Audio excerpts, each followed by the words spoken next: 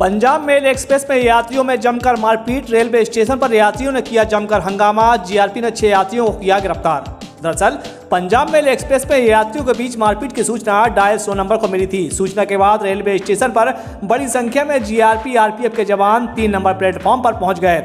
GRP से मिली जानकारी के अनुसार, मिलिट्री की भर्ती में मेडिकल के लिए आ रहे युवकों और मुरैना से लौट रही बारात के बीच सीट को लेकर विवाद हो गया, जिसमें झांसी और ललितपुर के बीच दोनों पक्षों में जमकर मारपीट हो गई।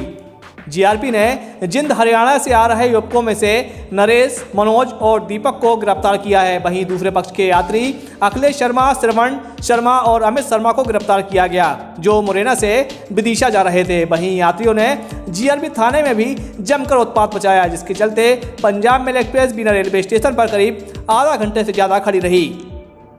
फ़िलहाल पुलिस यात्रियों से पूछताछ कर रही है, जिसके बाद कार्रवाई की जाएगी।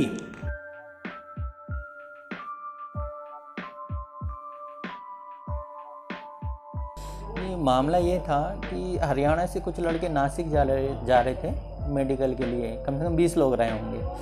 और फिर मुरैना से बारात अटेंड करके कम से कम तीस लोग आ रहे थे। इन सब का reservation D one, D two, D three में था।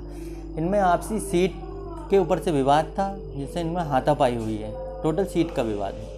हाँ हाँ। इसमें अभी हमने जो मिलिट्री से तीन लड़के थे जिनके साथ हाथापाई हुई है एक उनको उतारे हैं और जो लड़की पक्ष के थे बारात के पास के जो उनके रिलेटिव थे तो उन्हें तीन लोग को उतारे हैं। इन्हीं से हम पूछताछ कर रहे हैं कि एक्चुअल में मामला क्या था।